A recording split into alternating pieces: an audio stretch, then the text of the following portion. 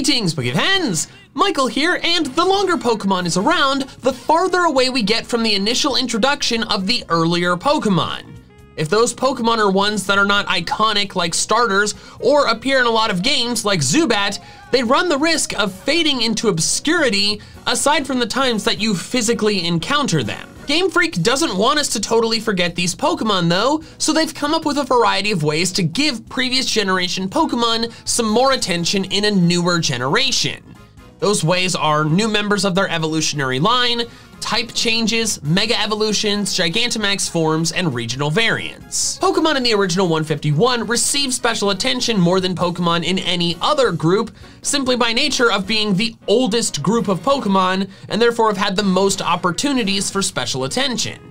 However, there are still quite a few Pokemon in Gen 1 that have never received any in-game changes. In this video, I'm gonna be covering every Pokemon in the original 151 that's never gotten any special attention and whether I think they deserve it. And if they do, what I'd like to see. Also, I know a lot of you are thinking, why give special attention to any Kanto Pokemon? They get enough special attention simply by being the original Pokemon. To which I would respond, when was the last time you thought about a Dewgong? Clearly, there are Kanto Pokemon that are forgotten despite being in Kanto. So don't forget to subscribe to my channel and let's start the list progressing in Pokedex order. We begin by skipping over the starters, obviously, Butterfree due to its Gigantamax form, Beedrill and Pidgeot due to their Megas, and Raticate due to its Alola form. That gets us to the first Pokemon, Fearow. Fearow is basically the second tier regional bird of the Kanto region.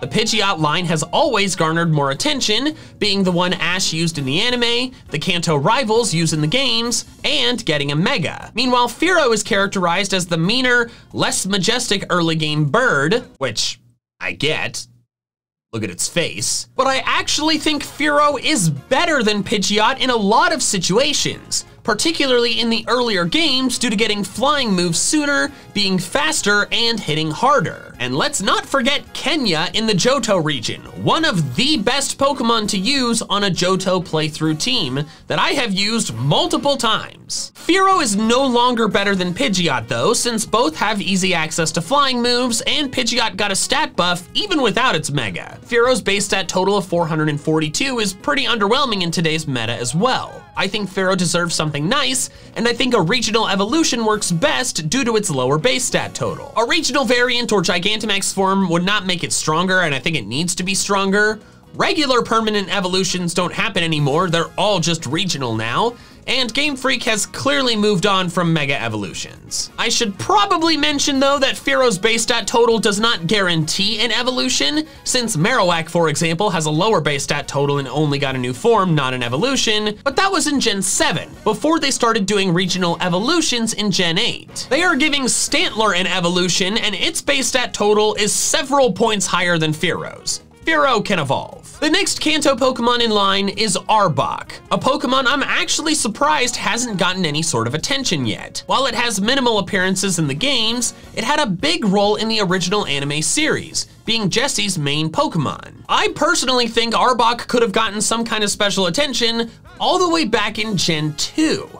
As I discussed in my Dark Types Then versus Now video, Dark is the only one of the three later added types that did not have any previous generation Pokemon get it as a type.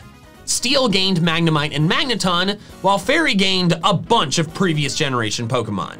But Dark got nothing. I think Arbok would have been a great fit for the Dark type due to, and I quote, having a very vengeful nature, and using fear tactics as basically its whole thing. However, that ship has sailed, so instead I'd like to see it get a regional evolution like Fearow. Its base stat total is around the same as Fearow's, in other words, definitely low enough for an evolution, and since its move pool is wide, it could become a really good Pokemon. Plus it's a snake. Snakes are cool. We then skip over Raichu and Sandslash due to their Alola forms, plus the Pikachu line is the last line that needs any more attention, to arrive at Nidoking and Nidoqueen. These are classic, cool, and very strong Pokemon but they're in an interesting spot due to how closely they are linked. You can't have one without the other because while their stats are different, they're basically two different forms for the same Pokemon.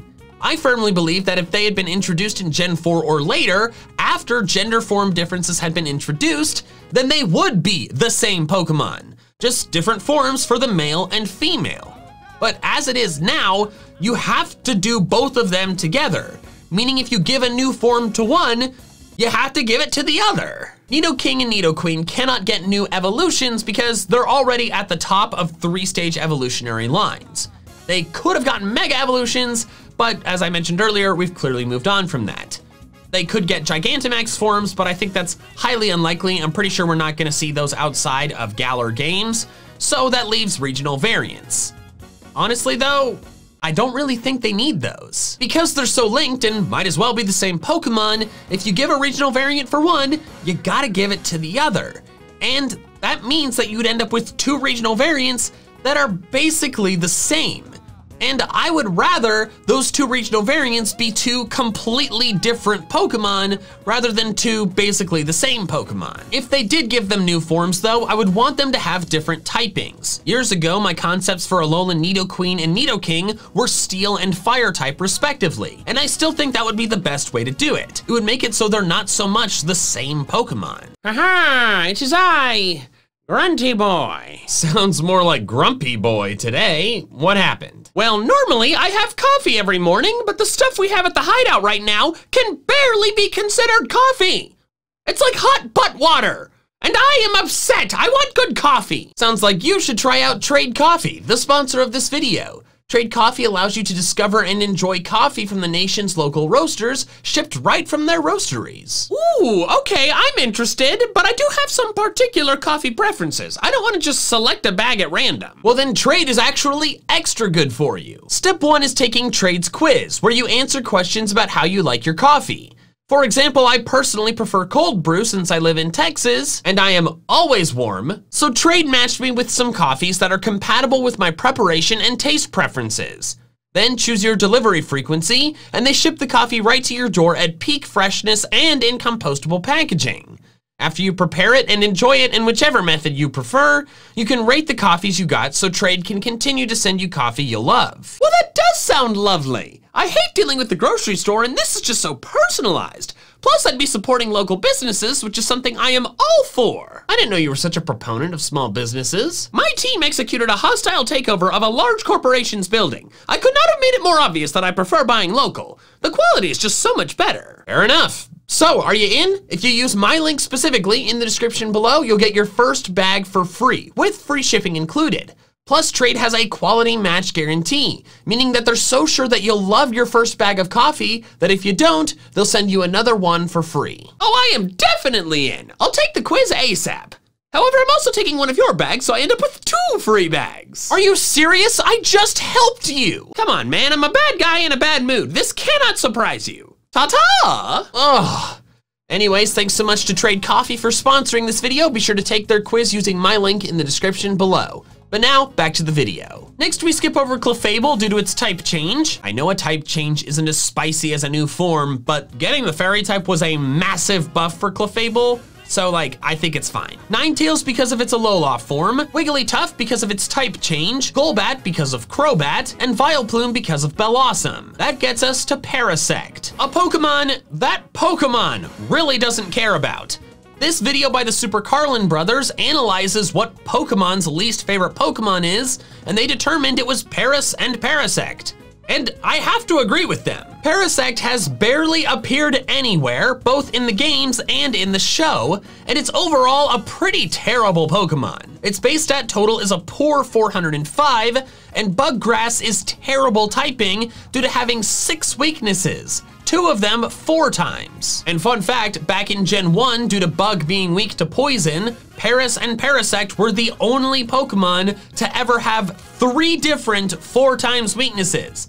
So they were even worse back then. As a result of these issues, Parasect is one of, if not the, most forgettable Pokemon in all of Gen 1. And part of me wants to say, just forget about giving it a new form because it's not that interesting. However, they are giving new evolutions to Stantler and Basculin, so clearly Parasect would also be fine. And honestly, I kinda want to see it because I do genuinely think its design concept is interesting. It's not the one I want to see the most, but I'd get a kick out of it. Parasect absolutely needs a full-blown, permanent evolution to be made relevant again. And if they want to make it any good, they should probably change its typing away from bug grass. Maybe since the bug is literally mostly dead, they could make it a ghost type once the mushroom 100% takes over. Next up is Venomoth, another underwhelming Gen 1 bug, but not in as bad of a situation as Parasect in regards to appearances. Koga, Janine, and even Sabrina use it at different points, and its base stat total is quite a bit better than most other bugs in Gen 1 only being beaten by Scyther and Pinsir. It also garnered attention as part of Twitch Plays Pokemon, but that was due to the Pokemon fandom, not the creators. It has been ignored outside of Kanto and Johto though, so I think it's a good candidate for a regional evolution, since its base stat total is not too high. Poison is more viable now than it was before Gen 6 thanks to its advantage over Fairy. So with a stat buff up to around the 500 range, it could be an effective Pokemon to counter that type. Plus it would be nice to see the OG Moth Pokemon be actually decent. After Venomoth, we skip over Dugtrio due to its Alola form, and Persian due to its Alola form, Perrserker, and Gigantamax Meowth. Man, how did Meowth end up with so many goodies? But then we get to the next Pokemon, Golduck, a Pokemon that I'm actually quite surprised is here. Psyduck is quite a popular Gen 1 Pokemon, and Golduck has been present in every region's Pokedex in at least one game. Yet somehow Golduck has never gotten a new evolution or a new form or anything and I think it's a top priority Pokemon for getting one of those. Psyduck is a beloved Pokemon. It deserves a spicy new evolution. Since Golduck already has a very solid base stat total of 500, I think a simple variant would work perfectly. An easy change is making it the water psychic type we've always thought it should have been. Another fun option is a totally new Pokemon for Psyduck to evolve into instead. Maybe a design that has a more feathered design rather than the leathery smooth skin that they normally have. Next we get to Primeape, hands down the least memorable fighting type in Kanto. At least it's forgettable for Ash. He caught one, left it somewhere to train, and then the anime promptly forgot that he ever had it. Also, it was left out of the fighting specialist Bruno's team along with Poliwrath in favor of two Onixes? Bruno? Why? For the record, I also think Poliwrath is kind of overlooked due to Politoed being better than it, at least in the competitive scene due to Drizzle. However, it's still a part of a pretty popular line. So I think it's all right. I think Primeape should get something, since it's the only fighting type in Kanto to not have gotten anything. I feel like a Mega Evolution would have worked well, but that ship has sailed. A Regional Evolution would work though, since its base stat total is only 455. If they went with a Regional variant though, I think an amusing one would be a Primeape that is actually quite calm, rather than so angry it can die. It has been known to become so angry that it dies as a result. Its face looks peaceful in death, however. What? After that, we skip over Arcanine because of Growlithe's Hisuian form, which means that Arcanine is either gonna get a Hisuian form or Growlithe can evolve into something else, but both count. Poliwrath because of Politoed, Alakazam because of its Mega, and Machamp because of its Gigantamax form. That brings us to Victreebel. Victory Bell is often seen as the counterpart to Vileplume, both of them being opposite version exclusives in the Kanto region. The Vileplume line got the new evolution Bellossom though, but Victreebel did not. Apparently they did plan a split evolution Pokemon, but it didn't make the final cut. Victreebel cannot evolve, but I would like to see it get a regional variant, or an alternate evolution for Weepinbell, which I should probably mention are basically the same thing. It would likely have to remain grass type, since it's literally just a sentient plant, kinda hard to change that, so we'd swap out the poison type for something else. I love Pokemon's idea for a spicy pepper Victreebel that's grass fire type. I think in general, I just really wanna see a grass fire type, and I think a Victreebel variant is a cool way to do that. Next up is a Pokemon I'm actually shocked has not had anything new, Tentacruel. It's been in the large majority of regional dexes, basically being the ocean Zubat. But unlike Golbat, Tentacruel did not get an evolution. But the reason for that is simple. Tentacruel is already quite strong having a base stat total of 515. I think a regional form would work better for Tentacruel than an evolution due to Tentacruel's existing strength. It seems like a lot of fan artists want to see an electric type one. I don't fully understand how they all came to such a consistent decision, but I'm on board. Regardless of the type though, I think Tentacool and Tentacruel deserve a change. If not for the sole purpose of giving us something else in the water. After Tentacruel, we skip over Golem because of its Alola form, Rapidash because of its Galarian form, Slowbro because of both Slowking and its Galarian form, Magneton because of Magnezone and its type change, and Farfetch'd because of its Galarian form and Sirfetch'd. That brings us to Dodrio. Dodrio is a Pokemon that got more attention early on, appearing in three of the first four regional dexes, but lately has fallen to the wayside, only appearing in one of the last four. I think it deserves some kind of nod though. An evolution would benefit it since its base stat total is 470, not as low as some others, but still not too high to disqualify it from evolving. However, I don't think evolving is a good fit design-wise for Dodrio, because what do you do aside from just add another head? There are lots of opportunities for a non-evolving regional form though. Multiple artists have designed flamingo-based Dodrios, which I think is a great fit due to its long neck. If these were fairy flying type, that would really improve Dodrio's viability since fairy is such a good type. Next we have Dewgong,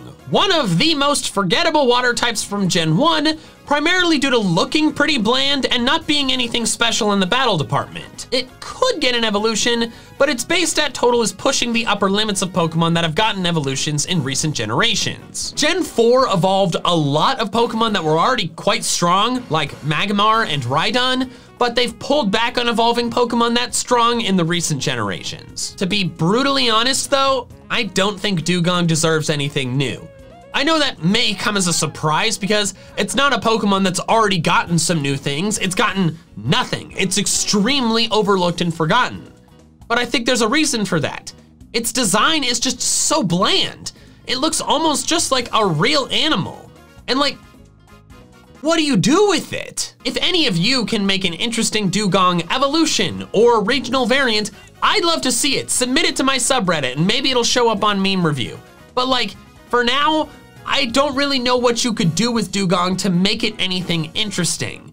So I think it's one of those Pokemon that Game Freak just made, didn't do a great job on, and should just be left on the wayside. After Dewgong, we skip over Muk due to its Alola form, then we get to Cloyster. Cloyster has always been one of the lesser known Kanto water types due to it not being easy to obtain. But I see why that's the case. It is darn strong, having a base stat total of 525. I think Cloyster would be a great Pokemon to be given a variant, not an evolution since it's so strong already, due to it being based on bivalves. Bivalve's shapes vary so much that there are a lot of ways to alter Cloyster's design while still being faithful to its original premise. We then skip over Gengar because of its Mega Evolution and Gigantamax form, and Onix because of Steelix and Mega Steelix. Then we reach Hypno, a Pokemon like Arbok I thought could have been given the Dark type. The thing kidnaps children.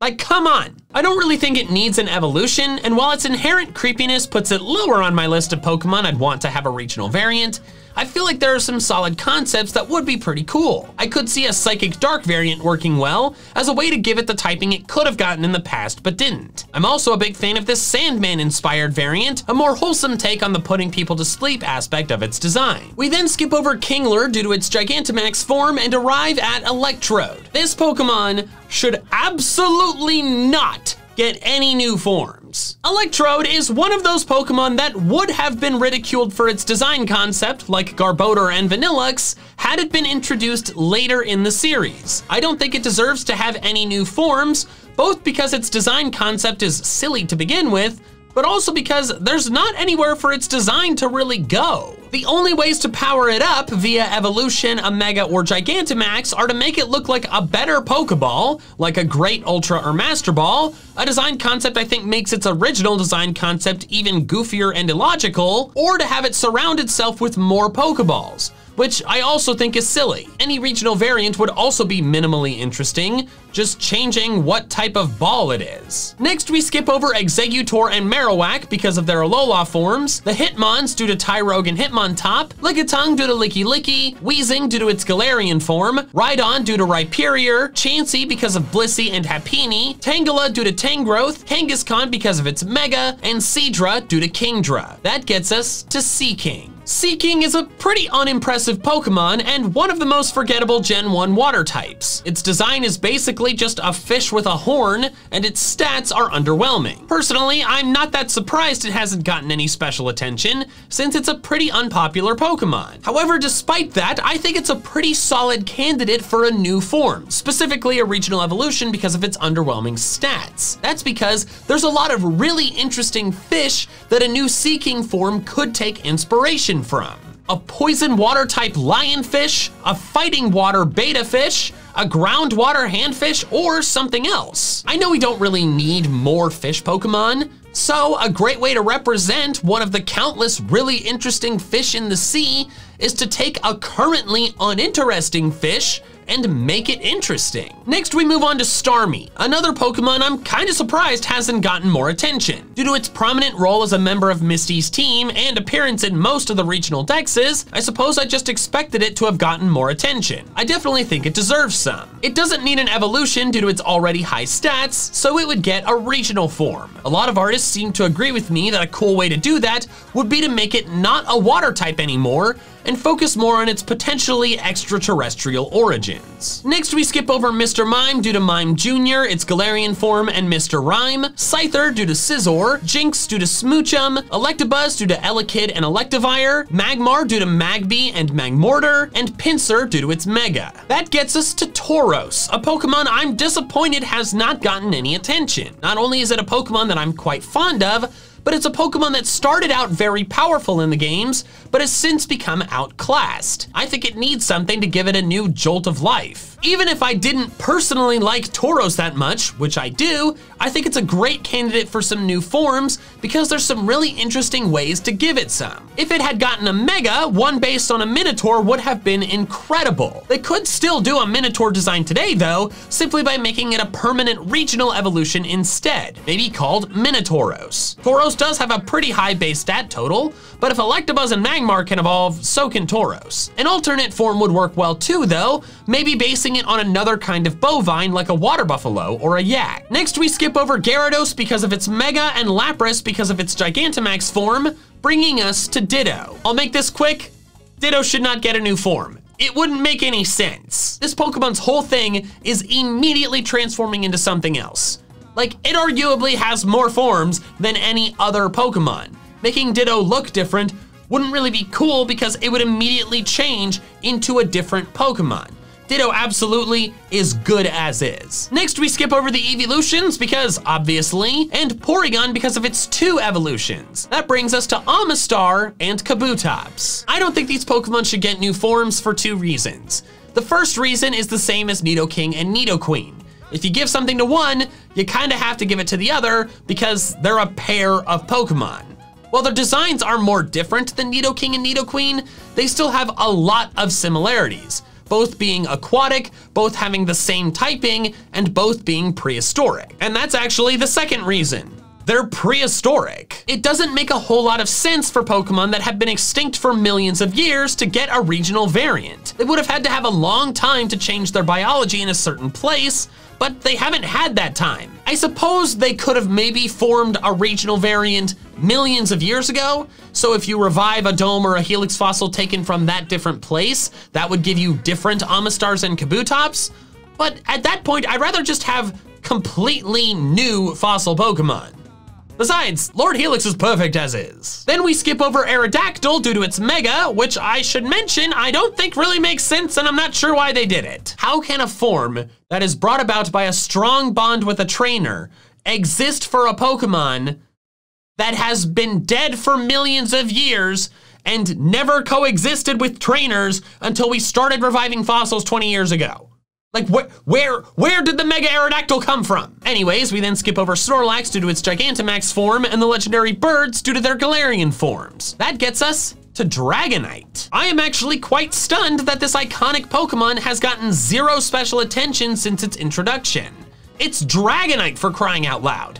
The first ever fully evolved dragon, and the iconic Pokemon of Lance, yet it's gotten nothing. It didn't get a Mega, unlike every other pseudo legend from the first four generations, although I suppose they might have avoided that due to avoid making an item called a Dragonite. They could have given it a Gigantamax form, but they didn't. However, going forward, they could do a regional variant, since it obviously cannot evolve, but that would make it the first pseudo legendary to get a regional form. It would be new, but I would love to see it.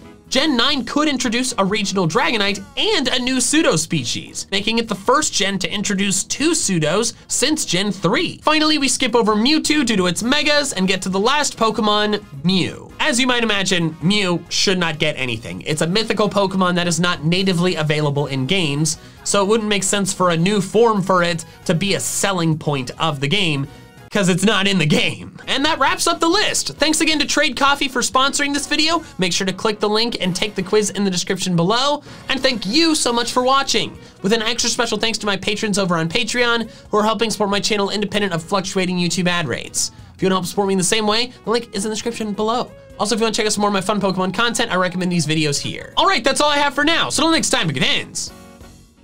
Gotta catch them all.